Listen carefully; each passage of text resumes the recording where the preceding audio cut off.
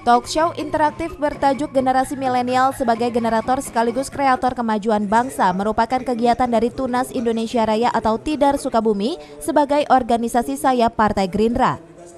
Kegiatan yang dihadiri secara langsung oleh Ketua DPC Gerindra yang sekaligus Ketua DPRD Kabupaten Sukabumi dan anggota legislatif DPRD Kota Sukabumi ini merupakan ajang untuk merangkul dan merangsang para kaum milenial di Sukabumi agar bisa lebih kreatif dan aktif dalam berkreasi dan membuka ide-ide dalam berwirausaha. Kegiatan ini pun menjadi ajang Tidar Sukabumi untuk menggali potensi para kaula muda di Kabupaten Sukabumi agar lebih mampu menyerap aspirasi dan inspirasi untuk masa depan uh, ke depan adalah tunas-tunas ya. Dan aset bangsa ke depan.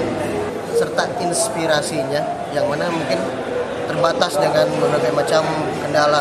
Dan alhamdulillah Pak Heri membuka peluang untuk kaum milenial untuk membuka ruang yang sebesar-besarnya yaitu untuk datang ke rumah aspirasi dan inspirasi Heri Gunawan. Yang mana di sana ada program-program dan segudang program. Jadi salah satunya itu wirausaha pemula untuk merangsang para milenial yang punya produk apa pun bentuknya bisa diajukan dan itu memang uh, rutinitas setiap tahun. Kegiatan ini digelar oleh Tidar Sukabumi sebagai wadah untuk menggali potensi yang dimiliki oleh kaum milenial yang nantinya sangat berguna bagi masyarakat di Sukabumi.